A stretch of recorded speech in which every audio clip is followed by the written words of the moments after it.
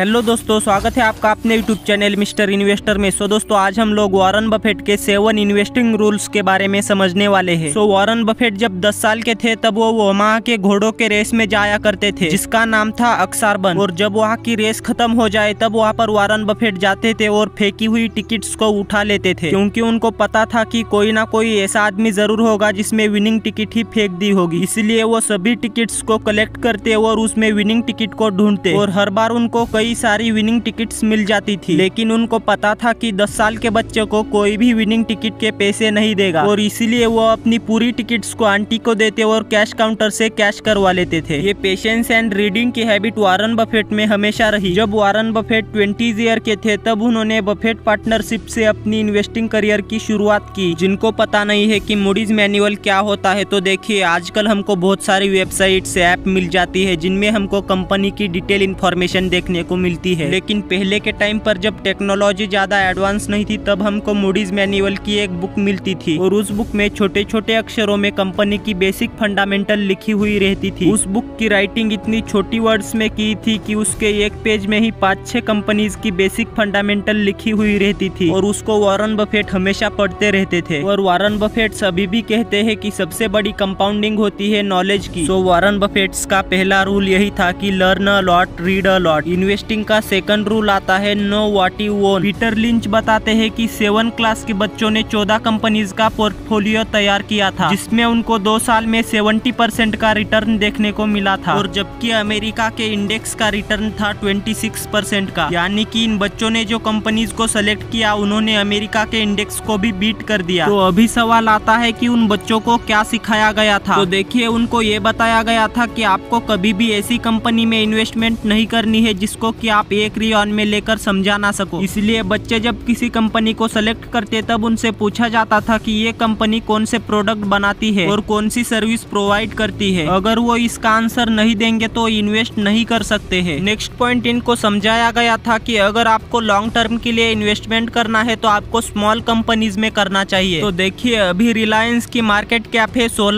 six lakh की अगर हम अभी इसमें इन्वेस्टमेंट करते हैं तो हमारे पैसे दस गुना तभी होंगे जब इस इसकी मार्केट कैप दस गुना होगी तो इसकी मार्केट कैप दस गुना होने के लिए रिलायंस को और भी कोई प्रोडक्ट बनाना पड़ेगा या फिर अपनी कंपनी में कोई मेजर चेंजेस करने पड़ेंगे लेकिन फिर भी मार्केट कैप का दस गुना होना बहुत मुश्किल है लेकिन दोस्तों मेरे कहने का मतलब ये भी नहीं है की आपको पेनी स्टॉक में इन्वेस्टमेंट करनी है इसलिए आपको स्टॉक को नहीं बल्कि उसके पीछे की कंपनी को देखना होगा कि उसकी कंपनी कैसी है और क्या प्रोडक्ट बनाती है और अगर आपको ये समझना है की हम बेस्ट कंपनी कैसे पता कर सकते हैं तो आप इस वीडियो को देख सकते हैं मैं इसकी लिंक डिस्क्रिप्शन और पिन कमेंट में दे दूंगा आप वहाँ से जाकर इसे देख सकते हैं फोर्थ रूल हमें कहता है कि हमको ज्यादा स्टॉक को होल्ड नहीं करना है देखिए एक ह्यूमन माइंड आठ से पंद्रह कंपनीज को ही एनालाइज कर सकता है इसलिए आपको अपनी पूरी लाइफ में दस से ज्यादा कंपनी में इन्वेस्टमेंट नहीं करनी है लेकिन वो दस की दस कंपनीज ऐसी होनी चाहिए की आपको लगे की मैं उस कंपनी के सीईओ e से मिल चुका हूँ और मैंने सौ पेजेस का एग्रीमेंट साइन करके उसमें इन्वेस्टमेंट की है यानी की आपको उस कंपनी कंपनी पर थोड़ा भी डाउट नहीं होना चाहिए और वारन बफेट भी यही कहते हैं कि अगर एक एवरेज पर्सन को थ्री बिजनेस भी मिल जाए इन्वेस्टमेंट करने के लिए तो वो भी बहुत है नेक्स्ट रूल कहता है की if you like a product chances are you love the stock यानी की अगर आपको किसी कंपनी का प्रोडक्ट अच्छा लगता है तो आपको उस कंपनी में इन्वेस्टमेंट करना चाहिए पीटर इंच अपनी बुक में बताते हैं कि उनकी लड़कियां द बॉडी शॉप कंपनी के प्रोडक्ट्स को यूज करती थी और जब उन्हें पता चला कि इसके प्रोडक्ट बहुत अच्छे है तभी उन्होंने उसकी एनुअल रिपोर्ट को चेक किया और अपनी टीम को इन्वेस्टमेंट करने के लिए सजेस्ट किया और बाद में उनको उस कंपनी से मल्टी टाइम्स रिटर्न भी मिले इसलिए आप जिस भी कंपनी में इन्वेस्टमेंट करते हो सबसे पहले आपको उसके प्रोडक्ट को यूज करके देखना है नेक्स्ट ट्रूलीज की trying to time the market Peter Lynch कहते हैं की एक्सपर्ट को कोई भी पता नहीं होता है की मार्केट अपसाइड जाएगी या फिर डाउन साइड लेकिन उनका काम ही होता है मार्केट को टाइम करना इसलिए उनको टाइम करना ही पड़ता है यानी कि उनको ऐसा दिखाना पड़ता है कि मुझे सब कुछ पता है मार्केट अप साइड जाएगी या फिर डाउन साइड जबकि उनको इसके बारे में कोई भी आइडिया नहीं होती है लेकिन जो बेस्ट इन्वेस्टर्स होते हैं वो देखते हैं कि कौन सी कंपनी बेस्ट प्रोडक्ट्स बना रही है और पब्लिक को कौन से प्रोडक्ट्स की जरूरत है और इसी के हिसाब से वो बेस्ट कंपनी में इन्वेस्टमेंट करते हैं जिसके कारण लॉन्ग टाइम में कंपनी के साथ स्टॉक प्राइस भी ग्रो करती है और उनको अच्छा खासा प्रॉफिट देखने को मिलता है इसलिए आपको ऐसी कंपनी को ढूंढना है जो की बेस्ट प्रोडक्ट बनाती है न की आपको मार्केट को टाइम करना है next rule is free cash flow is the king of company अगर कंपनी का प्रॉफिट बढ़ता जा रहा है और उसका फ्री कैश फ्लो सेम है तो उस कंपनी में कुछ ना कुछ प्रॉब्लम हो सकती है तो so, अगर आपको कैश फ्लो के ऊपर एक डिटेल में वीडियो चाहिए तो कमेंट कीजिए मैं उस पर एक डिटेल में वीडियो बनाऊंगा और अगर रूल समझ में आए तो वीडियो को लाइक और चैनल को सब्सक्राइब कर सकते हैं थैंक यू